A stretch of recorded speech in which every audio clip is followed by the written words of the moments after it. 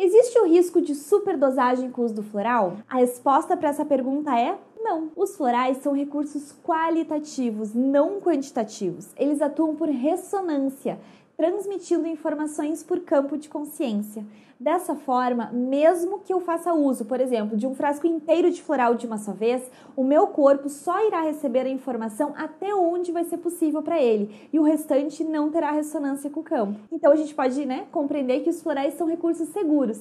E é importante a gente considerar que a terapia com florais tem como base a constância de uso do floral, ou seja, várias vezes ao longo do dia por vários dias. É isso que resultará em excelentes resultados. Ficou com alguma dúvida? Só escrever aqui nos comentários.